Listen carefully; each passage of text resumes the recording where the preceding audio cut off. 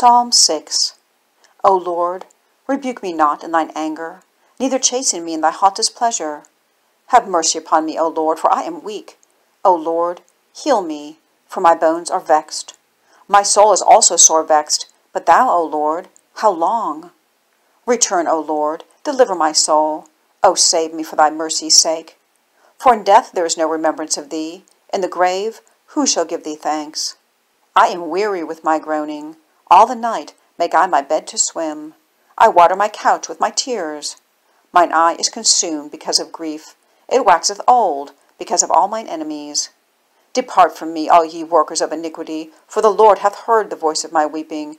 The Lord hath heard my supplication. The Lord will receive my prayer. Let all mine enemies be ashamed and sore vexed. Let them return and be ashamed suddenly.